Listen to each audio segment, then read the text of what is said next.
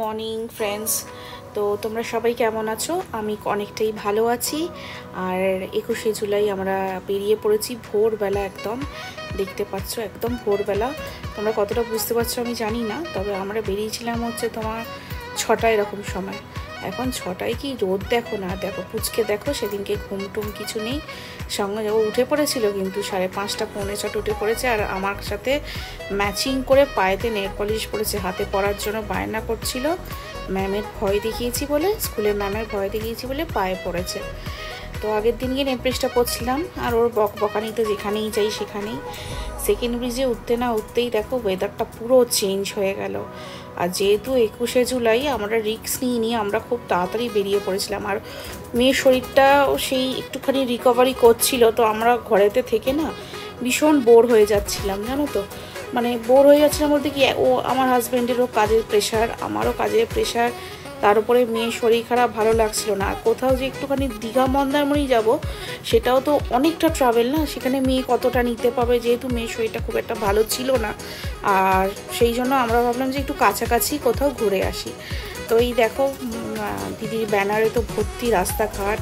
ভিড়, পুলিশের ভিড় কত? মানে কত পুলিশ এখানে যেখানেই দেখছি সেখানেই দাঁড়িয়ে দাঁড়িয়ে দেখছি পুলিশ আর শুধু কেবল বাসে করে গাড়িতে করে সব ভর্তি ভর্তি লোক যাচ্ছে। মানে তখন ছ সাড়ে ছটা এরকম বাজে। বৃষ্টি উঠেছি সাড়ে ছটায় এরকম বাজে তাই না? আচ্ছা অনেক বলো তো এইটা এই ব্রিজটা ব্রিজটা বলো তো? এই ব্রিজটা ঠিক কোথায়? এটা হচ্ছে তারাতলার বেস ব্রিজ।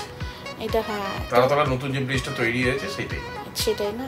তো তখনও পর্যন্ত রাস্তাঘাট এই জায়গাটা বেশ একটু জ্যাম জমাট থাকে কিন্তু সেদিনকে একটুখানি হালকাই ছিল তাই না? অবশ্য আমরা একটু ভোরবেলা করেই বেরিয়েছিলাম যাতে আমাদের কোনো প্রবলেমে পড়তে না হয়। এই যে দেখো আস্তে আমরা জোকা ঢুকে পড়ছি তাই না নি এটা জোকা তো? হ্যাঁ এটা জোকা জোকা আমরা জোকার দিকে ঢুকে গেছি। হ্যাঁ জোকার দিকে আমরা ঢুকে গেছি। তো আমাদের বাড়ি থেকে কাছাকাছি কোথায় যাব? এই তোমার ডায়মন্ড হারবারের কাছাকাছি তো আমাদেরকে যেতে হবে। যদি বাড়ির খুব কাছাকাছি যাই হ্যাঁ? তো চলে গেলাম ওই সাইডেই। গেছিলাম কোথায় আমরা? তোমরা দেখতে থাকো। এর মন্দিরটায় না, আমার জোকাতেই মন্দিরটা আছে। মন্দিরটা কতবার চেষ্টা করেছি যাওয়ার, কিন্তু যাওয়াই হয় না। আর যতবারই আমরা ডায়মন্ড হারবারের দিকে যাই না কেন হ্যাঁ ততবারই বৃষ্টি পাই। মানে আমরা অ্যাকচুয়ালি সিজনটাতেই মেনলি যাই। আর ওখানে এত বৃষ্টি হয়, দেখো, যেহেতু সে ভোরবেলায় উঠেছিল, তার একটুখানি ঘুম ঘুম পাচ্ছিল। কিন্তু তবুও সে ঘুমোবে না সেখানেও সে বক বক করছে, এটা কি মাম্মি, ওটা কি মাম্মি? এইসব নিয়ে বকবক দেখো গাড়িগুলোতে লোক ভর্তি দেখতে পাচ্ছ? শুধু দিদির মিছিলে বেরোচ্ছে, শুধু দিদির মিছিলে, এই যে পতাকা ঝুলিয়ে দিদির মিছিলে বেরোচ্ছে। আর ওখানে মানে কি এক একটা রাস্তার কিছুটা কিছুটা জায়গায় অনেক লোক দাঁড়িয়ে ছিল মানে যারা অফিসের একদম ছুটি পায় না, সব রকমের মানুষজনই আছে, সব রকমই কোম্পানি আছে না, কিছুতেই কিছু ছুটি দেয় না, তো তাদের একদিনের কামাইটাও অনেকটা এফেক্ট করে। তো কি করবে মানুষজন, তাদেরকে তো বেরোতেই হবে, তারাই বেরিয়েছিল। তবে রাস্তাঘাটে বাস ফাস কিচ্ছু নেই। ছিল শুধু কেবল হচ্ছে এই কয়েকটা বাস, যেগুলো দিদির মিছিলে যাচ্ছিল ভর্তি সামনে রিজার্ভ বলে লেখা আছে। আর এই জায়গাটা তো পুরোটাই তো দিদির আন্ডারে না?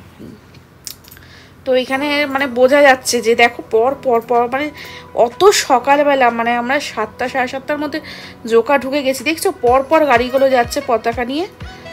এ দেখো, সামনে দিয়েই গেল।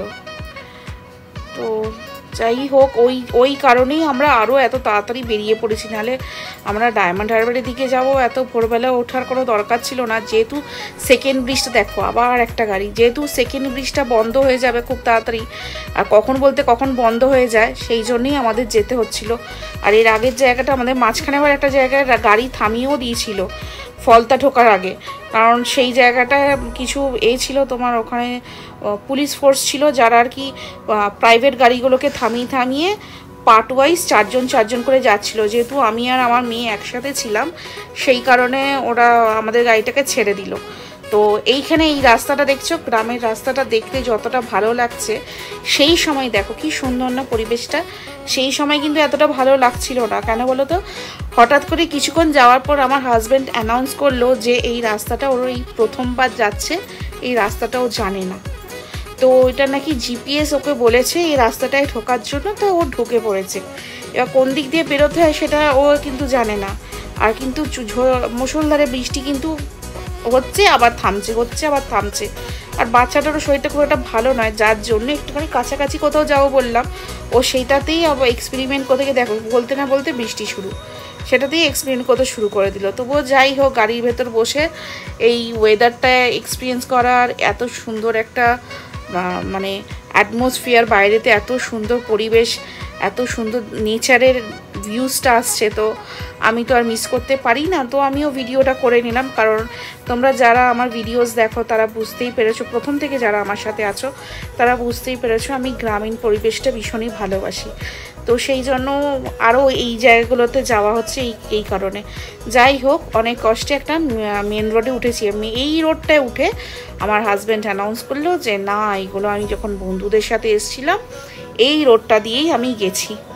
যাই হোক, শুনে মনটা শান্তি পেলাম। মানে পেছনে বসে ভাবছিলাম যে এই রাস্তাটা দিয়ে ঘুরে আবার আমার বাড়ি চলে যাচ্ছে না তো? তারপর দেখলাম, না, ঠিক আছে, আমি ফলতার দিকে এগোচ্ছি।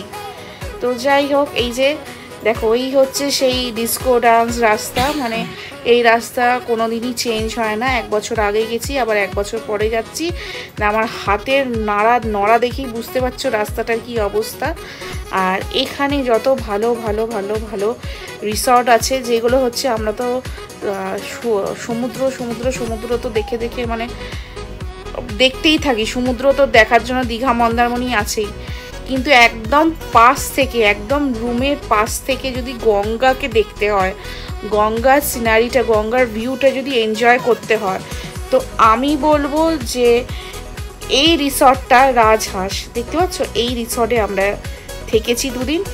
এখানে থাকো, এখানে খাওয়া দাওয়া ভীষণই ভালো, যেটা রিভিউ পরে আমার হাজব্যান্ড দেবে। কিন্তু আমি ঢোকার জায়গাটা তোমাদের সাথে শেয়ার করলাম। যে দেখো পুরোটাই এদেরই জায়গা, এই জায়গাটা পুরোটা দেখছ যে কভার করা আছে আর অপোজিটে এই যে ঢুকছে গেটের ভেতরে। দেখো রুমটা বিশাল আহামরি কিছু রুম নয়, কিন্তু ভিউজটা হচ্ছে দুর্দান্ত। খাওয়া দাওয়া কোয়ালিটি ভীষণ ভালো। আর আতিথেয়তা মানে যেটা একটা থাকা দরকার। সেটা অবশ্যই আছে।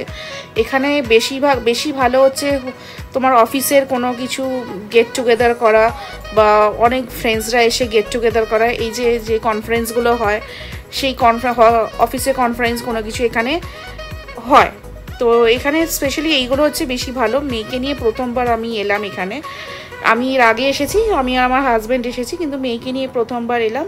আর ঢুকেই বদমাইশি শুরু শুরু, আর ঘরের ভেতরে জানলাটা থেকে ভিউটা দেখো।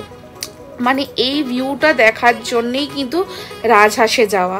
আর এই যে ওর যে গার্ডেনটা দেখছি, এটা কিন্তু নিজস্বদের। আর এইটা হচ্ছে পুরো রুমটা খুবই সিম্পল খুবই সিম্পল আহামরি কিছু না। যতটুকু দরকার ততটুকুই। আর এখানে গিয়েতে কেউ তিন চার দিন থাকে না, একদিন বা দুদিন। লোকে একবেলা গিয়েও থেকে চলে আসে। তো কালকের নিয়ে আসব আমরা কিন্তু সেকেন্ড পার্ট ভিডিওটা যেখানে আমরা দেখব আবার খাবারের ডিটেলসগুলো কিরম কি খাবারের রেট আছে ওখানে, আর তার সাথে গোটা রিসর্টটা ঘুরে আপনাদেরকে দেখাবো। তাই আমাদের কিন্তু নেক্সট এপিসোডের জন্য নিশ্চয়ই করে আমাদের চ্যানেলকে সাবস্ক্রাইব করবেন লাইক করবেন, আর ভিডিওটাকে শেয়ার করবেন।